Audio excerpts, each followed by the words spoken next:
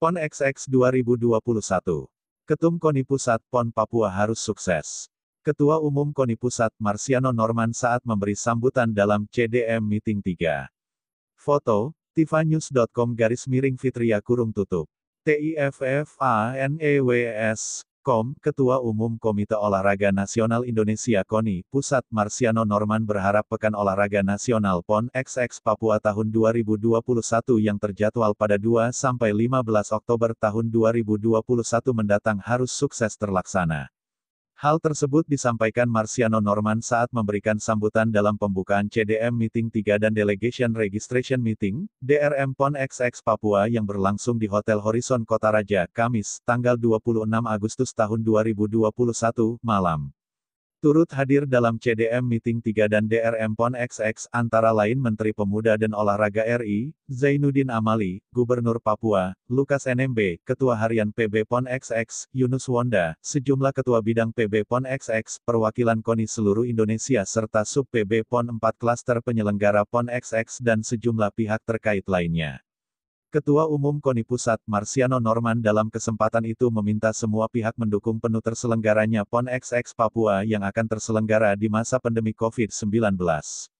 Saat ini adalah masa yang sangat sulit di masa pandemi COVID-19, kita harus melaksanakan ajang nasional di mana yang sudah ditunda satu tahun dan yang menurut rencana akan digelar pada tanggal 2-15 Oktober yang akan datang.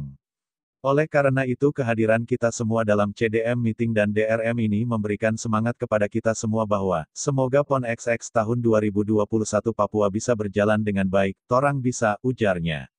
Marciano Norman juga meminta pemerintah daerah di Papua untuk berupaya melakukan vaksinasi jelang PON XX ini. Sebab Papua sebagai tuan rumah. Sehingga, saat pelaksanaan PON XX nanti minimal 70% masyarakat yang ada di sekitar venue nanti sudah divaksin. Saya sangat mengapresiasi Pak Gubernur selaku Ketua PB PON beserta jajarannya telah bekerja keras untuk membangun menyiapkan ini. Pembangunan venue telah berjalan dengan sangat baik, dan semoga kendala-kendala yang masih ada dalam waktu satu bulan ini diharapkan semua dapat teratasi.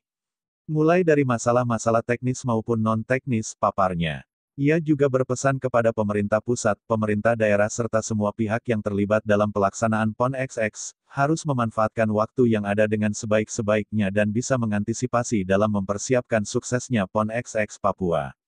Kita berharap terselenggaranya PON XX di Papua ini dapat melahirkan atlet berkualitas dan dapat berandil di Olimpiade di Paris 2024 nanti dan mampu meraih prestasi terbaik, terang Marciano yang juga mengapresiasi keterlibatan pihak TNI dan Polri dalam pengamanan PON XX. TIFFANEWS,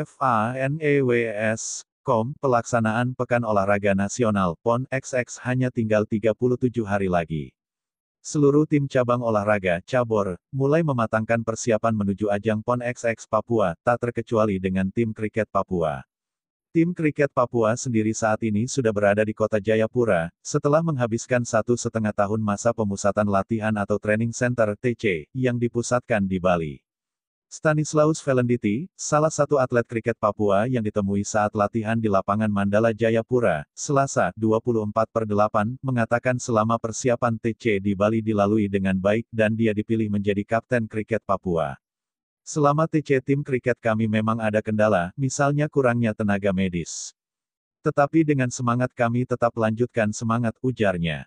Lanjut Stanislaus, tim kriket Papua menargetkan tiga medali emas. Kapten Tim Kriket Putra Papua, Stanislaus. Foto, tifanews.com garis miring Kristina kurung tutup.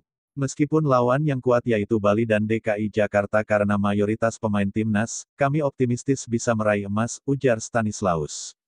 Stanislaus juga memberi apresiasi pada pengurus cabur kriket dan KONI Papua yang telah serius menangani perkembangan kriket di tanah Papua. Tentu kami juga berapa KONI dan pemerintah terus memperhatikan seluruh atlet personal dan tim, jika mendapat juara ada.